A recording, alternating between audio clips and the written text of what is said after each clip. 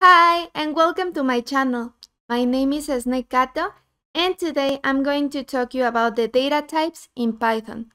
As you know, there are different data types in all programming languages, and it is important that you um, get to know the difference between them so you avoid headaches in the future when you start programming. Let's start. In Python, we have four main data types. We have int, float, str, and bool.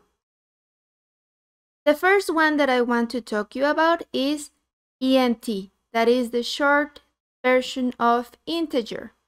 And some examples of integers are minus 25, minus 1, 0, 3, and 198.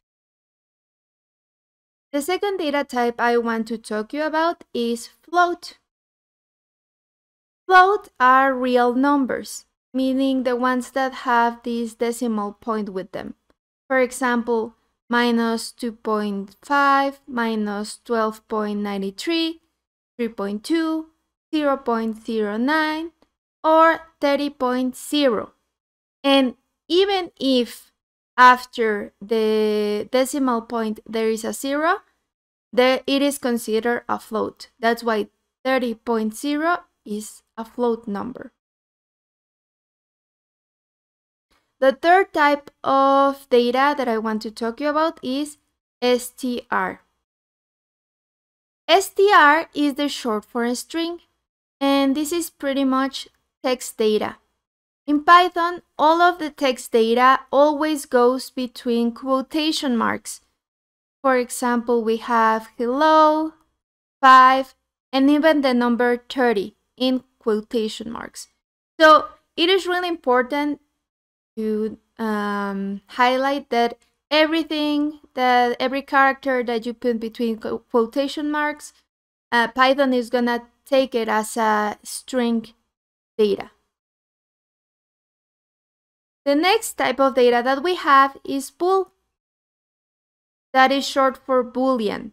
And boolean data are the ones that can take one value or another value. For example, 0 or 1, true or false. And one example in real life that we can mention is when we have data from students that we want to like um, how is it called?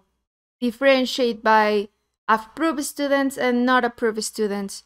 Or if you have health related uh, health related database, you can have information about uh, drinkers and non-drinkers. So, but if you are interested more about this specific type of data that are booleans, you can leave it in the comments so I can make one video only for Boolean data.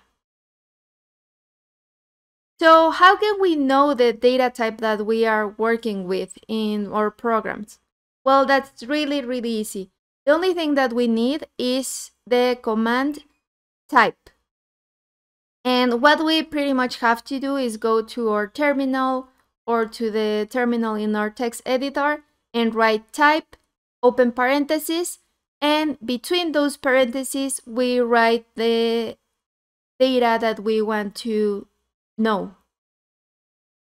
Here I have a couple of examples. The only thing that you need to do is go to your terminal and write this down. So you write type, open parentheses, 1 and close parentheses, and then you press enter.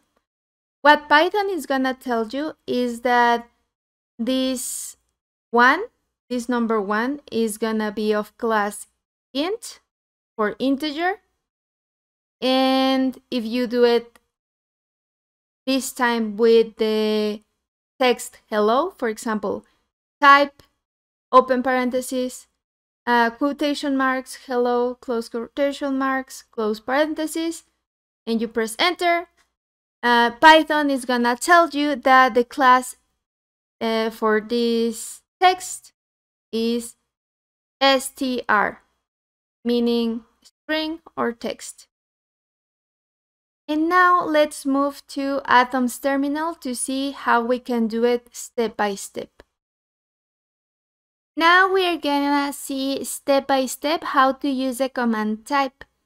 What we're going to do is going to the terminal of our Atom editor and start from there.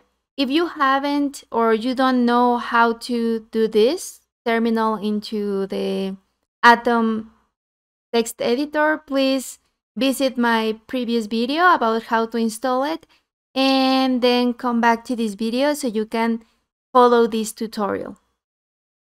So going back to the type command, the first thing that we have to do in order to make our command work is write Python. And then we just press enter. The next thing that we have to do is start with our command. So we, write, we write type open parenthesis, and 1. And close parenthesis and press enter. Here we can see that the class of 1 is int, or integer. And if we try it with hello world,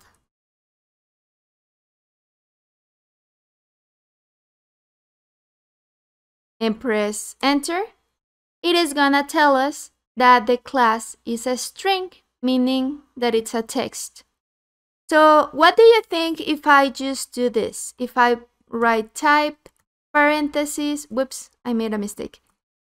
I type, open parentheses, uh, quotation marks, one, and close parentheses. What do you think the type of this data is going to be? So write in the comments if you will be if you're right or wrong after seeing this. So let's press enter and the class is a string, it's a text. And remember, um, all the characters that you write, that you put in quotation marks is always going to be considered as a text in Python. Thank you so much for watching this video and I have a little homework for you. You have to open your Atom text editor or any text editor that you have and from the terminal, find the data types of the following examples and write your answers in the comment section. See you in the next video. Bye.